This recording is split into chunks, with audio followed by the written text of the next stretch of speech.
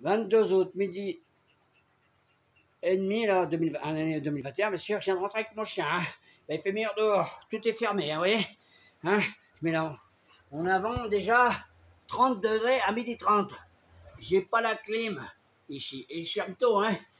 Eh ben, tu es à 30 degrés, hein, une véritable étude, on est à 70% d'humidité. Bah, tu comprends ce que je veux dire? Ou bien t'as de la merde dans tes oreilles et dans tes yeux